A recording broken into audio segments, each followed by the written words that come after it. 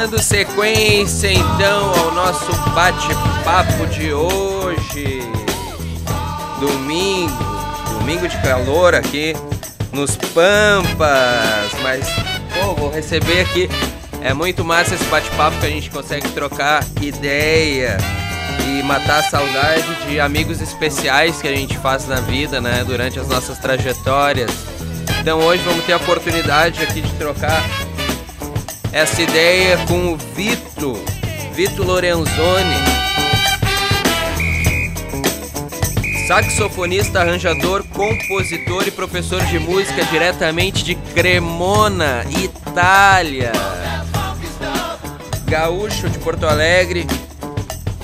Foi passar um tempo em Floripa e logo depois, depois de grandes aprendizados, de grandes é, influências musicais que teve na vida, muitos estudos, partiu para Europa. Então fala, Vitor, prazer te receber aqui, meu bruxo. Saudades de ti, meu velho. Como estamos? Salve, galera da Web Rádio Papareia. Dizer que é um prazer estar podendo compartilhar aqui algumas das minhas histórias e das minhas experiências com vocês e agradecer muito ao Juninho grande pessoa, grande guerreiro que eu conheço há tanto tempo e essas pessoas que a gente é, conhece, tem uma relação assim de admiração, né? Elas perduram por tempo, apesar da, da, distância, de tudo que acontece. A gente acaba se lembrando desses amigos aí em vários momentos e foi mais ou menos o que aconteceu aí por esses dias. Então fiquei muito feliz com a, com a lembrança aí do Juninho e queria dar um salve aí para toda a galera e dar os parabéns pelo projeto. E vamos nessa, vamos lá. Vamos, vamos nessa, vamos nessa. Galera, o Vitor, ele participou de orquestras ali em Floripa. Da tá orquestra do Instituto Federal, a Orquestra Sinfônica de Floripa, a Big Band da UDESC. Teve experiências com músicos profissionais, assim, né? E participou também de uma uma grande turnê que teve no Brasil com o músico Jarra Thompson, da Austrália, assim como tocou também com a banda Imigrante, que é uma banda que faz cover de clássicos como Pink Floyd e tal, onde participou a cantora Dugar McBroom, diretamente do Pink Floyd, mas isso ele vai falar um pouquinho mais adiante. Então, Vitor, como, como começou a música na tua vida e como entrou o sax nessa trajetória aí? Bom, a minha trajetória acredito que seja um pouco particular, assim, porque eu não venho de uma família de músicos e o saxofone, que é meu instrumento principal, eu só comecei a tocar mesmo com 22 para 23 anos, mais ou menos, né? E, mas a música sempre teve muito presente na, na minha vida, assim, como uma relação quase religiosa, assim, né? É, sempre gostei de pegar os discos na casa da, da minha avó, na casa dos meus tios, e mais tarde um pouco também na minha própria casa, porque a minha mãe teve um companheiro durante 10 ou 15 anos que ele adorava comprar CDs, né? Então era vício dele, toda semana ele comprava uma coisa nova de tudo que se pode imaginar, assim, né? Desde Tim Maia, para Lamas do Sucesso, até ABBA, Bon Jovi, enfim, todo esse universo, muita coisa de que hoje eu vejo assim como uma influência, né, distante, mas que tá lá com certeza na, nas coisas que eu escutava muito, que é o pagode brasileiro, que, bom, teve ali uma época de ouro, né, de raça negra, só para contrariar, e bom, fora isso também eh, os primeiros discos de, de reggae, né, que é uma coisa que eu tenho uma paixão assim de muito tempo já. Escutei nessa época também Cidade Negra, é, enfim, entre outras preciosidades ali do, dos anos 90, né? E produziu muita coisa boa aí, principalmente na, na música brasileira. E, bom, é, o meu início com a música foi com violão. É, uns 14, 15 anos eu comecei a gostar muito de, de reggae, como eu falei antes, né? Então foi a porta de entrada, assim, para o meu é, universo musical, assim, em termos de instrumento, né? De começar a tocar e aprender as coisas. E, enfim, aí eu comecei com essa história, comecei a, a de forma bastante autodidata, assim, é, a aprender as coisas, tentar copiar né, as coisas que eu ouvia. E, claro, esse autodidata é sempre muito relativo, porque eu tive vários é, tutores, amigos, né? É, o pessoal que tocava já, então eu tinha um pessoal que eu que reunia toda semana que eles adoravam tocar rock, é, Ing Malmsteen, Steve Vai, umas coisas assim bem longe ali do meu acesso naquele momento, mas eles tocavam muito bem. Uhum. E aí eu ficava enchendo o saco e volta e meia eles me ensinavam um acorde ou outro. E assim eu fui é, encontrando, né, os acordes ali das músicas que eu gostava. E esse processo de tirar as músicas, principalmente Bob Marley, né, esse universo aí que era relacionava muito aí nessa época, eu fui aprendendo as harmonias, as escalas, vendo que as coisas tinham correlação e fui começando a gostar de cantar também. Então eu precisava mudar o tom das músicas, nisso eu aprendi a transpor, né, e ver como funcionava essa caixinha, né, da, da parte mais teórica, harmônica da música. É, então meu início foi muito relacionado com isso. E nesse tempo eu ainda morava em, em, Porto Alegre, né, e em 2007 eu acabei fazendo o vestibular, na verdade 2006, né? 2007 que eu fui morar em Floripa, mas 2006 eu fiz o vestibular para a Faculdade de História na Universidade Federal lá de Florianópolis. E aí fui aprovado, fui para Floripa, né? Eu nem conhecia muito bem a cidade, mas era como uma segunda opção. Eu tinha feito na, na URGS, né? Porto Alegre, e fiz lá também na UFSC. Acabei passando na UFSC, fui para Floripa. Lá continuei desenvolvendo, né? Essa coisa da música, a faculdade de história mesmo me aprofundou muito nessa coisa de novo do universo do reggae, né? De aprender é. sobre as histórias, sobre a relação com a Bíblia, tudo isso me atraiu muito, assim, e acabou me aprofundando mais também o interesse de é, estudar mais no instrumento, né? No caso, nessa época, o violão e, e a voz. Sim. Então, depois de um ou dois anos ali em Floripa, é, eu conheci um pessoal que morava perto da minha casa, que era um grupo de argentinos, na verdade. Tinha um cara ali que se chamava Sim. Rodrigo, o apelido dele era Poco. Eu acho que o Juninho conheceu também, se eu não me engano, era do mesmo claro, universo claro. de, amigos nossos, né, em Floripa. Eu ia te perguntar dele. E, e ele tocava trompete já, assim, tinha, era um cara já com uma experiência e tocava profissionalmente, né? E ele tocava com uma banda chamada Humani, que na época era uma banda bem conhecida em Florianópolis e de altíssima qualidade, assim. E eu comecei a, a ir nos ensaios e a galera gostava, que eu tava junto, né? E via que eu, que eu gostava ali de tá compartilhando os momentos. Eu comecei a viajar junto com eles como road, ajudando a carregar as coisas no palco, montar e tal. E nesse meio tempo eu ganhei uma, uma flotinha doce, daquelas de plástico, que eu levava junto no bolso e ficava do lado ali. Tinha um trompete, que era o Rocco, né? E tinha um trombonista, que era o Adrian, também argentino. Uhum. E eu ficava do lado deles copiando as melodias, né? E aí o, o Rocco, principalmente, começou nessa época a colocar uma, muita pilha, assim, falando, cara, tu tem que pegar um sax, tu tem que pegar um sax. Eu nunca nem tinha encostado no, saxofone, não sabia como funcionava, né? Enfim, ele insistiu tanto que eu é, acabei marcando uma aula experimental, né, para ter esse contato com o instrumento Sim. e gostei muito. E assim, tinha uma relação que eu nunca imaginei com a flauta, né? Então as coisas que eu tinha aprendido naquela flautinha de plástico começaram a ser transpostas para o sax. E incrivelmente, eu acho que fazia um mês que eu tocava, eu já estava no palco com essa banda, a gente fez shows gigantes, assim, abertura de banda de Alpha Blonde, é, enfim, é uma banda que tinha, tava já em palcos grandes, assim, eu tava ali junto, tocando, né, e esse foi meu início, e aí o grande lance do sax, eu acho que foi o que, a grande diferença em relação a, ao violão é que eu comecei a enxergar como era poder trabalhar com música, né, é, porque ali é uma, outro, é uma outra história, né? A questão do sax, os sopros em geral eles têm essa possibilidade de trabalhar com vários grupos, porque não é uma coisa tão comum, né? E é. nesse sentido a gente começou a, a ir em outros ensaios, né? E um deles foi com a banda Cultivo, que era uma banda que eu gostava demais, assim, era uma das coisas que eu mais admirava ali em Floripa, e a gente começou a participar, fazendo ali o, o pessoal chama de naipe, né, de sopros. Então a gente fazia trompete e, e, sax. Eu tinha começado com sax alto, nessa altura eu já tinha pego o tenor, que é meu instrumento principal, né? é um sax um pouquinho mais, uhum. mais grave.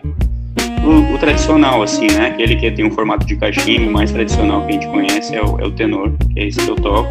Eu comecei a tocar mais ou menos nessa época, seis meses depois que eu comecei com o saxofone. Uhum. E, bom, aí começou um caminho sem volta, assim, né? Eu tava tocando com a galera que eu admirava, e eu, eu, assim, já tinha voltado com o negócio da história, né? Da faculdade de história, eu tinha recuperado uma coisa de quando eu era criança que eu adorava ler, adorava estudar, assim, eu estava lendo, estudando muito, e isso me acabou migrando para a música, né? E para o saxofone, que é um instrumento que acaba exigindo muito isso, assim, para a gente conseguir evoluir e estar tá em dia para trabalho, né? E para as demandas aí do uhum. dia a dia. E aí é isso, como eu falei, um caminho sem volta. Isso tudo acho que define o resto do caminho, assim, porque eu já não tive, já não tinha mais para onde ir sem ser a música, né? Bom, uhum. aí para não estender muito, bom, daí para frente foi muito trabalho, muitas situações diferentes, trabalho com todos os estilos musicais, assim, né? Que se pode imaginar. Fiz muitas coisas legais mesmo em Floripa. E o reggae através do Groundation, né? Por exemplo, que é uma banda que eu adoro, assim, e do Scatalites também acabou me levando a descobrir uhum. esse mundo do, do jazz. E para quem toca saxofone é, é quase como não tem escapatória, né? Tá tudo muito interligado a isso. Então, meus estudos começaram a virar um pouco para esse lado, apesar de eu ter sempre levado junto a questão do reggae até hoje, né? Ainda realizo gravações e tal. É, enfim, uhum. uma coisa que realmente eu gosto, mas hoje em dia eu já tenho um, é, um horizonte bem mais amplo, assim, em relação a estilos musicais, né? E atualmente eu me dedico a estudar jazz, principalmente, mas música brasileira, né? Desde o choro, e bossa nova e todas essas infinitas vertentes aí que a gente tem, né, da música brasileira. E acabou sendo um dos motivos que eu, que eu vim aqui para Itália, porque lá no é, quando eu estava em Floripa ainda, 2016, eu entrei na faculdade de, de música lá, né, licenciatura. Na verdade, depois de ter cursado três anos na Escola Livre de Música, foi um projeto fenomenal que teve em Floripa. Tive grandes professores ali, o Léo Garcia, Cássio Moura, é, Felipe Moritz, que era meu professor de sax, né, Geraldo Vargas, no choro. Então foi um projeto que hoje em dia não existe mais, infelizmente, mas que foi, para mim, foi essencial. Então eu estudei três anos lá e de lá foi como direto, assim, né, pulei direto para a Universidade Estadual e estava cursando até vir para cá. E lá também é uma faculdade incrível, tive ótimos professores, mas é uma faculdade de licenciatura, né?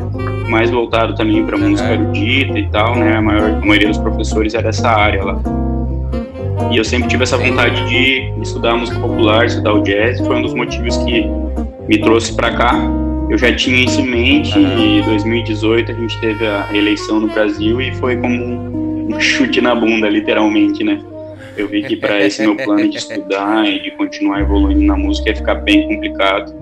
Então a gente mexeu alguns, algumas coisas aqui em relação à família, descobrimos que eu tinha a possibilidade de fazer cidadania, foi tudo muito rápido, assim. Outubro de 2018 eu comecei a mexer nessas coisas de documento e é, março de 2019 eu já estava aqui. Enfim, é, mais ou menos essa aí é a minha história com a música. Eu me estendi um pouco, mas não uhum. tinha como não, assim, porque realmente acho que conta um pouco do que eu sou hoje, né? Claro, meu, as trajetórias são longas, as experiências são diversas, né? Cara, te parabenizo também pela coragem, né? Não é bem assim ir sozinho para um outro país também ir aprendendo, né, no dia a dia também a falar italiano, se comunicar, né? Cara, o grandes projetos, Big Band da UDESC, Orquestra do Instituto Federal, Orquestra Sinfônica de Floripa, a OSCA, Teve também, quero que tu fale também dos teus dessa turnê aí por 30 cidades pelo Brasil com o músico Jarra Thompson, diretamente da Austrália. E com a banda Imigrante, né, a qual tu também ficou quatro anos e tocou com a vocalista lá do Pink Floyd, a Durga McBroom. Então fala aí um pouquinho pra gente, a gente tá ouvindo de fundo ter o som do Brazilian, Brazilian Jazz Duo, que tu já vai também contar um pouquinho mais para nós. Pô, Juninho, bem legal tu perguntar isso, cara, porque realmente são projetos importantíssimos e que acontecem ainda em Floripa, né? Todos esses três. Uhum. E eu acho que foram as melhores oportunidades que eu tive ali de, de aprender, de evoluir como, como músico, né? Sim. Porque são grandes formações, né? Então ali no meio tu, tu, tem que fazer parte daquele corpo, não tem muita escolha, né? É muito diferente de uhum. ser um instrumento solista, enfim, ou de tocar com uma banda, né, que são menos pessoas, é uma outra história e eu, ali tu aprende muito porque é, são projetos que agregam é, músicos profissionais também, né? Então eu tive os primeiros contatos ali, eu acho que com o Jean Carlos, que é um trompetista incrível de, Florianópolis, né? Ele participava junto nesse projeto da Big Band e o projeto da do Instituto Federal, né? Da orquestra do Instituto Federal também é um projeto maravilhoso. Ali ele agrega músicos profissionais, mas pessoal que está começando também. Então é um corpo musical incrível, né? É, uhum. Tem uma história também, uma trajetória esse projeto. Muitos músicos de Florianópolis passaram ali. Então é um projeto admirável. E para quem quer estudar música, ali as portas estão sempre abertas, né? E por último, a Orquestra Sinfônica, né, de Florianópolis, a, mais conhecido como OSCA é, uhum. Ali tem o, o, presidente, né, que é o André, que é uma grande pessoa. Eu trabalhei muito com ele em outros projetos também, a banda Ritme, que é uma banda super reconhecida lá em Floripa, né. É, uhum. Tocamos muito juntos e através disso a gente teve essa experiência aí na, na Orquestra Sinfônica também. É um projeto que segue vivo e que também eu acho que a maioria dos músicos que a gente perguntar ali em Floripa passaram uma hora ou outra por ali. E uhum. eu sou muito grato a tudo isso, né? Sou muito grato à Big Band Udesc também, da professora Cristina, né? Ali, ali eu acho que eu comecei a olhar assim onde eu poderia ir, né, com a música. Tinha muito mais coisa para descobrir. Então, realmente sou muito grato e são projetos que foram muito importantes na minha formação.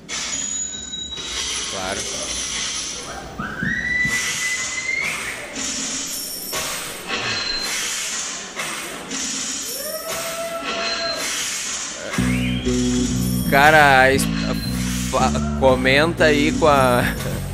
Comenta sobre a.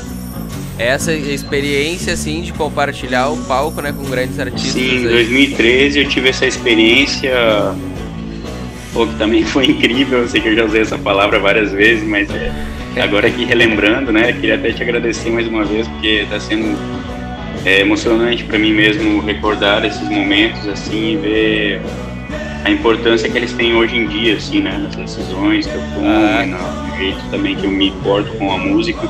E nesse sentido, eu acho que o, essa é. turnê de 2013 foi um marco, assim, divisor de águas, porque realmente foi uma experiência muito profissional, né?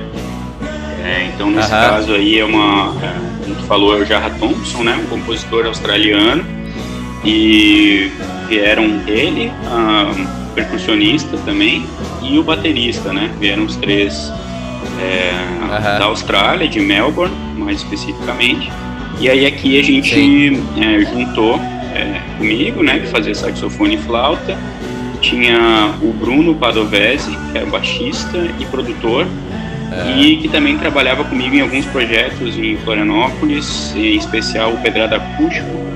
Foi um projeto também dessa mesma época, gente misturava um pouco de reggae, bossa nova, jazz. Era muito legal esse projeto com o Pedro Ange.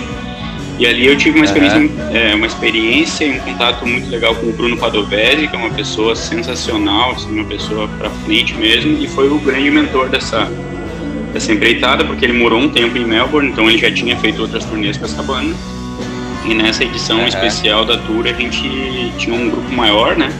E como eu falei, eu, Sim. o Bruno Padovese, né, no baixo, e tinha um outro instrumentista, que era o Wilson Ferreira, de São Paulo, que vale é. a pena citar porque é um cara sem. Cara, não dá para medir a qualidade musical desse cara. É, ele era, é, né, na verdade, multi-instrumentista, então ali na, uhum. no grupo ele tinha a função principal de tocar os teclados, né? Mas ele acabou, é. tocava cavaquinho, sanfona. Aí imagina, né, cara, os gringos ficam loucos, cara, porque ficou uma coisa sensacional, assim, misturar. Era um rock, né, folk, assim, australiano, misturado com essas influências. E ele tocava inclusive sax também, então algumas músicas ele ainda vinha dobrar comigo, assim, a gente tocava o naipe, fazia um naipe de sax, né? Então essa, pô, essa experiência foi demais mesmo, e como tu falou, foram 30 cidades, né? Então a gente às vezes dormia na van num lugar e acordava em outro, já montando o palco para tocar. Tudo super oh, profissional, né? Com uma, é, uma, um calendário específico, né? Enfim, toda a estrutura para chegar e tocar, que são coisas que a gente sabe que são muito difíceis no Brasil, né? De ter todas essas condições. Então eu considero minha trajetória antes e depois, assim, desse, dessa turnê. Aprendi muito, tinha um nível de exigência muito grande também em relação a tudo, né? Então ao mesmo tempo que foi super legal, foi uma, assim, um, é, um tapa na cara em muitas coisas, assim, do jeito que eu levava, né? Do jeito que eu, que eu levava minha carreira como profissional da música, né? Então aprendi pra caramba, assim, voltei outro. Fora isso, conheci lugares incríveis, né? Como a Foz do Iguaçu, Rio de Janeiro. A gente foi até Goiânia, né? Então, putz, eu conheci uma boa parte do Brasil nessa época e aprendi muito.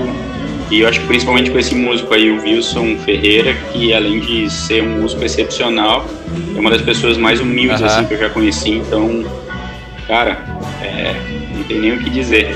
E, bom, essa experiência me levou um pouco para o mundo do rock, que até então eu não conhecia tanto, né? Eu tinha uma, um aprofundamento, conhecia uma coisa ou outra e tal. Mas me levou a ter que escutar, né? Led Zeppelin, Pink Floyd, é, essas influências todas ali que estavam agregadas nesse grupo, né? E através disso acabou rolando esse contato aí também do é, para tocar com a Imigrante, né? Que é uma das bandas aí mais uhum tradicionais de Floripa que faz rock em geral, né? Led Zeppelin, Sim. É, Deep Purple também, mas principalmente Pink Floyd, né? Tem uma tradição grande. Isso, altas bandas. Então, quando o pessoal chegou para me, me convidou para tocar com a Imigrante, foi também por aí 2014. Eu já tinha esse know-how, né? Então já foi mais tranquilo aceitar e saber que eu ia conseguir dar conta do recado. Aham. Uhum. E, mas mesmo assim foi um grande desafio no início, como tudo, né? Eu considero assim que na minha trajetória Sim. parece estar sempre surgindo um degrau maior na frente, eu acho isso ótimo.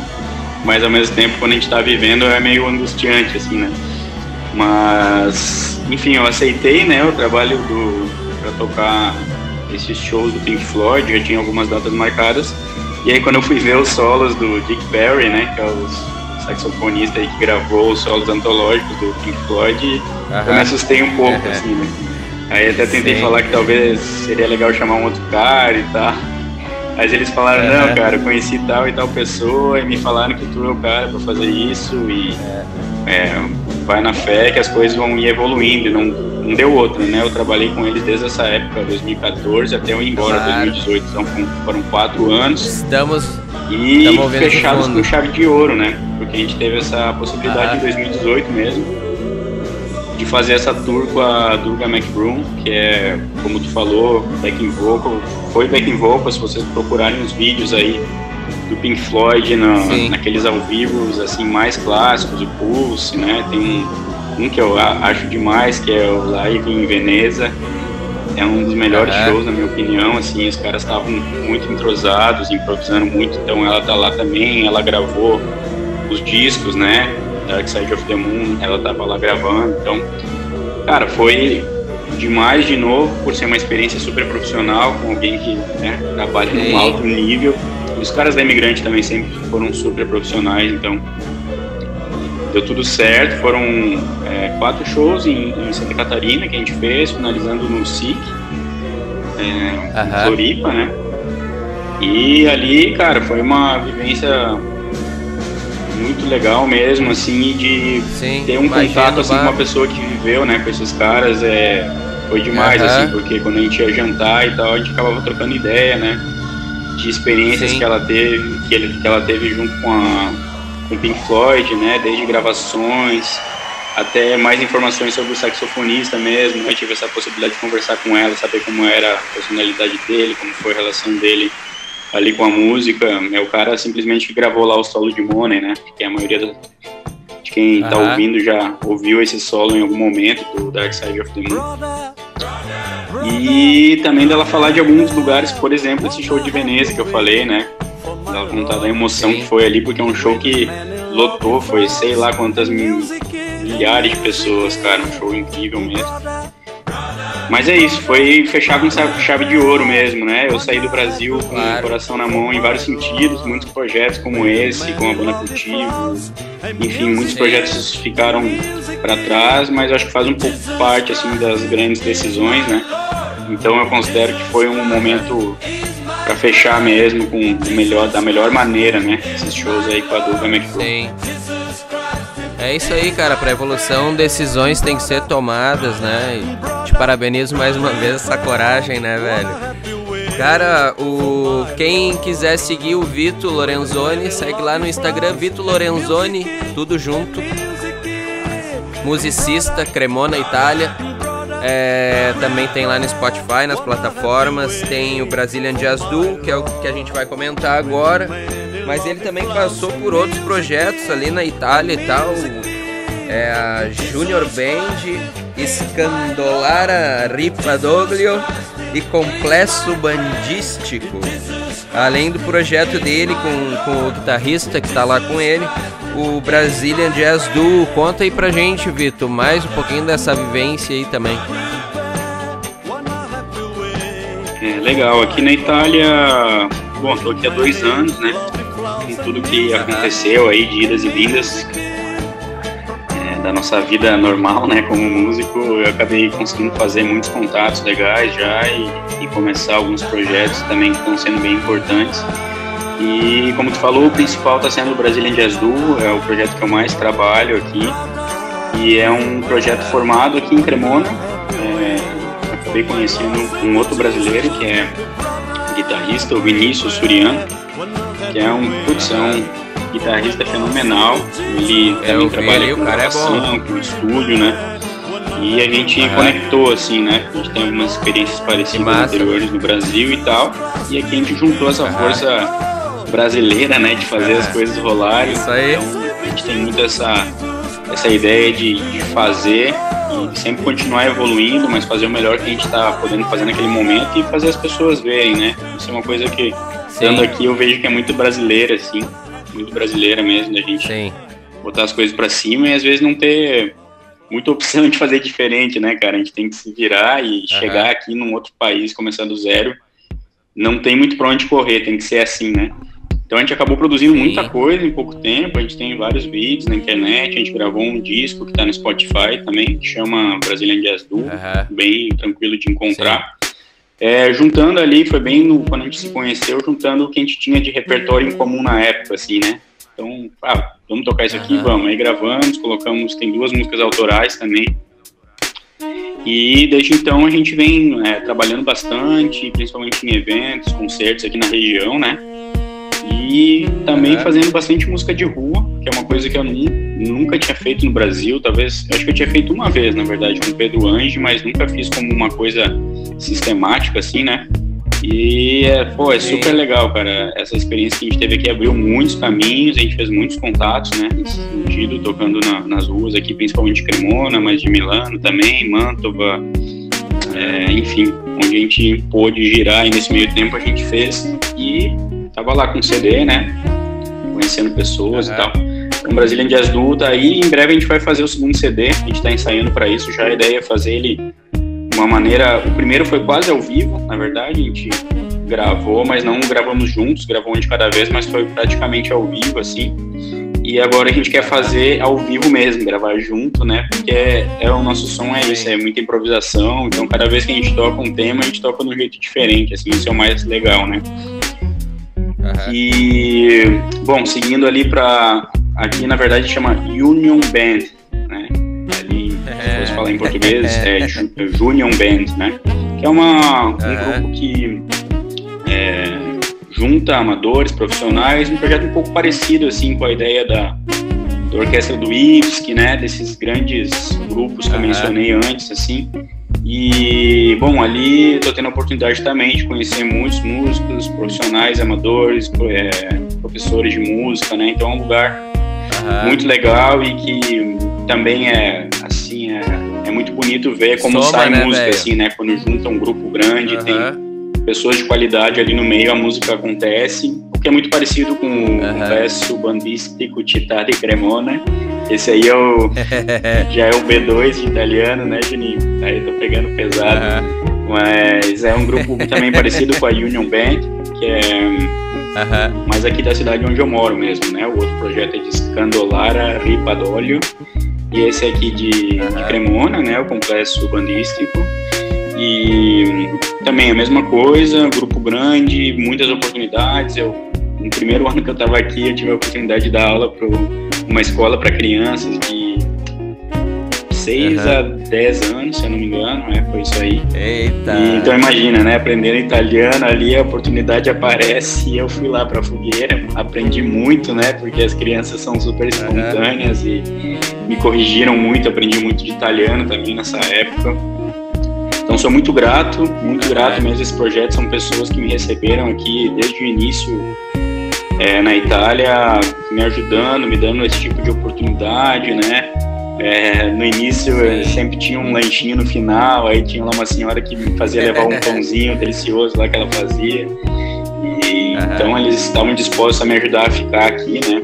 E eu acho que também sentiram, uhum. claro, que eu tinha essa ideia, né, de ter a responsabilidade, de assumir os projetos. Então, esses daí são os principais, né? E fora isso tem outras coisas esporádicas, como eu release também, como Sideman e é acompanhando artistas, cantoras principalmente, né? Então tem uma cantora que a gente trabalha bastante que é a Débora Dirstemann, difícil de falar, o nome dela é de origem alemã. Uhum. E ela é brasileira também, então a gente toca bastante bossa nova. É, e é isso, outros amigos ali que a gente vai fazendo, que é o Marquinhos Babu, percussionista, Paulo Zanol, guitarrista e? Então, bem legal, cara. Gente muito boa, né, brasileiros aqui que já estão mais tempo na Itália e também estão a fim de ajudar e grandes músicos, assim, estou aprendendo pra caramba com eles também. Que maravilha, Vitor. Aonde a música nos leva, né, meu velho? Que coisa boa, que experiências, hein? Pô, aproveita aí, curte bastante. Cara, foi um prazer te ter nesse bate-papo. Foi um prazer ter cruzado os nossos caminhos, né? Essa é uma amizade eterna. Fizemos, aproveitamos muitos momentos juntos, muitas pizzas, muitas rodas de viola, é, muitas praias também. E cara, força aí, te cuida, né? Te cuida nessa pandemia, segue teu caminho, segue teu rumo musical. Vou deixar aqui o espaço para tu dar um, um salve, um alô pra galera da Web Rádio Papareia que certamente curtiu o nosso bate-papo de hoje. Dali, Juninho, muito obrigado. Web Rádio Papareia também. É um prazer mesmo estar aqui compartilhando com vocês esses momentos. Como eu falei antes, foi realmente bem emocionante aí lembrar dessas coisas todas. Então, agradeço demais a oportunidade de falar um pouco aí de, de tudo que eu tenho vivido. E sim, estamos firmes aqui, estamos cuidando o máximo que dá, né? E e levando a, a música brasileira, né, o melhor do Brasil, assim, é, do mundo, né. No momento tá, eu acho que a responsabilidade aumentou muito, assim, a gente tem uma responsabilidade de mostrar o valor do, da gente, né, o valor dessa desse povo maravilhoso que é o Brasil e da nossa cultura aqui também. Então, eu tenho todo dia que eu venho aqui pro, eu tenho uma sala onde eu estudo, né que eu venho para cá estudar, eu penso muito nisso na minha responsabilidade como músico brasileiro aqui, como brasileiro principalmente, de Sim. mostrar o melhor, o melhor que a gente tem mesmo. Então é isso, eu agradeço demais aí a força, a tua força também, e espero que em breve a gente possa é, produzir alguma coisa junto, né? De música também, tô sempre aberto aí para gravações, para parcerias. E é isso, claro, tamo junto e espero também que logo a gente possa se encontrar e trocar uma ideia, tá bom? Muito obrigado, obrigado claro. aí ao Web Rádio mais uma vez e tamo junto. Salve. Um tamo junto. Abração, meu velho, certo? A gente já tinha já tinha comentado pelo WhatsApp, pelo Instagram aí pra gente fazer uma jam virtual. Então, galera, segue lá, Vitor Lorenzoni, estamos ouvindo aqui de fundo o trabalho dele, Brazilian Duo Brazilian Jazz Duo. Então, meu velho, leva o som do Brasil adiante. Tá? Em breve a gente faz uma jam virtual. Te convido agora para curtir a discotecada, muita black music. Feitoria, galera! Salve diretamente pra Cremona, Itália, direta, diretamente de, do QG Estúdio As de Porto Alegre pro Balneário Cassino e Cremona. Tamo junto! Vem a discotecada aí, segura aí, segura aí!